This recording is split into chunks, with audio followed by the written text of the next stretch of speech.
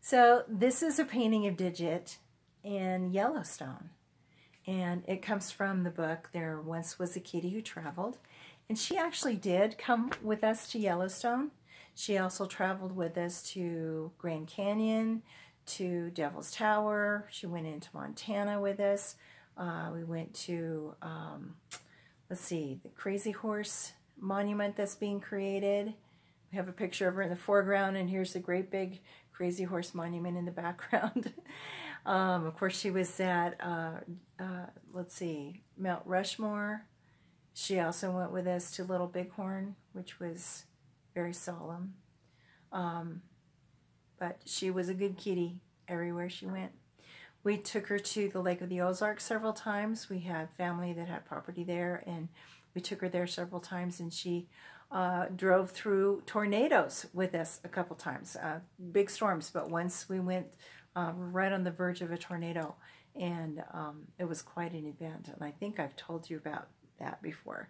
But she went with us all kinds of places. She went with us down to Tucson, you know, through let's see, uh, Truth or Consequences in New Mexico. Um, and then we drove all the way through there and went on down to Tucson to visit family down there. So she kind of got around.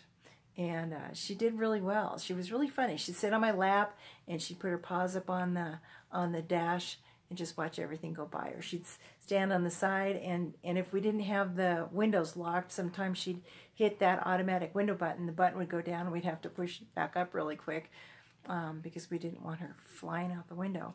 But um, she was such a hoot, and she loved uh, she loved traveling.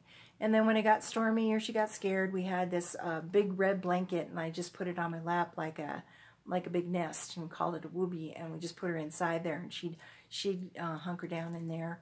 Or we put her in the cat carrier, which was in the back seat, and we had it all strapped in with a seatbelt. and had a towel in there, so she'd be uh, real comfortable in there, and we'd shut the shut the little door on it in her little cat carrier. So she she just traveled real well, and wherever she went, um, she was just she was just really funny, and so.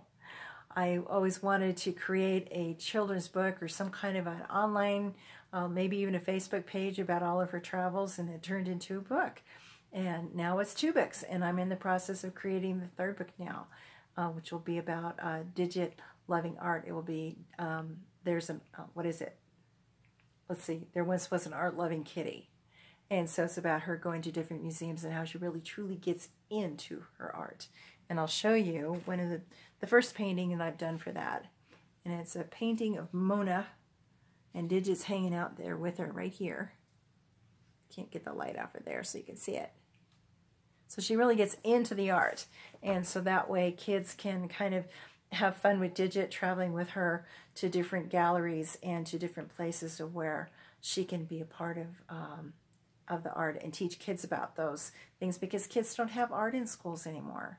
Um, have to take private lessons.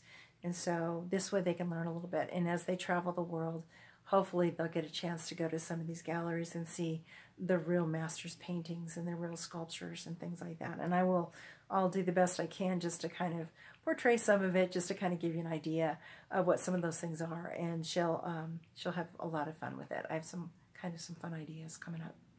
So whatever you're doing, I really hope that uh, you're just having a good time being creative and uh, loving what you're doing uh, sharing it with people that you love, and knowing full well just how amazing you are and how purposeful you are and how you important important you are for the world. And so, just like Digit, everywhere you go, may you know that you are fabulous. And so, as Grandma used to say, love you bunches. Bye for now.